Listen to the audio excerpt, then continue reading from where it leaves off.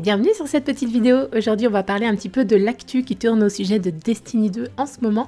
Vous avez dû entendre parler de ceci, le labo Niobe.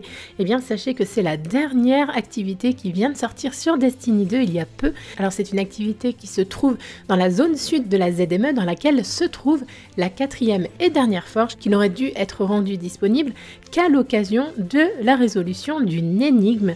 Et au final, les joueurs de la communauté n'ayant pas trouvé la solution à cette énigme, eh bien, Bungie a tout simplement ouvert la forge pour tous hier à 23h. Donc cette forge est donc dorénavant disponible, la forge de Bergusia, et elle amène avec elle automatiquement son lot de quêtes et de mystères. Il y a donc avec cette forge Bergusia notamment l'arrivée de deux nouvelles armes exotiques, le sniper Izanagi et le fusil à fusion de Jotun. Donc le fusil à fusion, vous pouvez l'obtenir tout simplement en loot aléatoire en réalisant la forge de Bergusia, de la même manière que son homologue le monarque pour les forges précédentes, et le sniper Izanagi quant à lui s'obtient en réalisant une quête exotique quête qui d'ailleurs fait pas mal parler d'elle en ce moment sur les réseaux sociaux. Pourquoi? Eh bien tout simplement parce que cette quête, si elle ne contient pas beaucoup d'étapes pour être réalisée, comporte en revanche une étape qui peut paraître assez injuste, on va le voir tout de suite ensemble. Mais dans un premier temps, on va commencer par parler de la façon dont vous pourrez débloquer cette fameuse forge de Bergusia. Il va falloir commencer par aller récupérer la quête de la forge chez Ada qui va vous être donnée automatiquement sur simple visite. Dans cette quête, on va vous demander de récupérer 25 lentilles d'observateurs. Alors les observateurs, ce sont tout simplement les tourelles qui se trouvent dans les souterrains, dans les dédales du raid du Léviathan. Alors petite astuce, faites-vous tout simplement repérer par ces tourelles d'observateurs afin de pouvoir farmer la séquence 5 ou 6 fois d'affilée puisque chaque tourelle vous donnera une lentille d'observateur. Par la suite, on va vous demander de récolter 100% d'améthystes étincelantes, sachant qu'il y a pour ce faire trois types d'activités disponibles. Les assauts qui vont vous donner 20 améthystes, les événements publics qui vont vous en donner 10, et enfin les coffres de patrouille dans lesquels se trouvera une améthyste.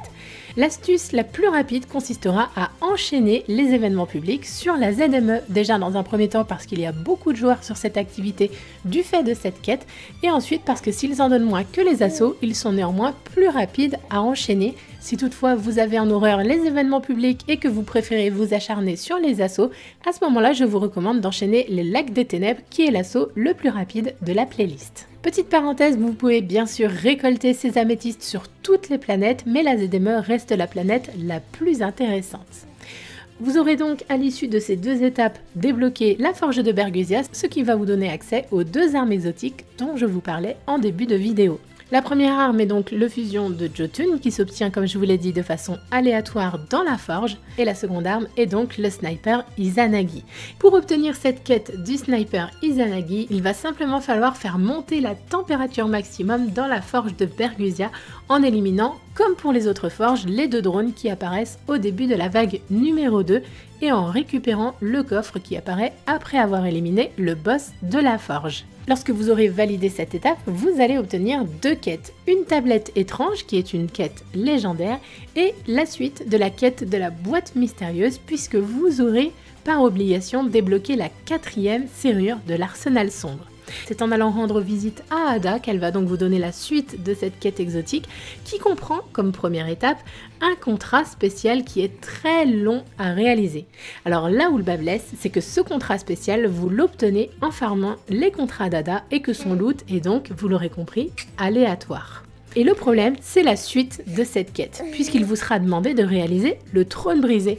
Or, le trône brisé n'apparaît qu'une fois toutes les trois semaines. Il est donc là en ce moment.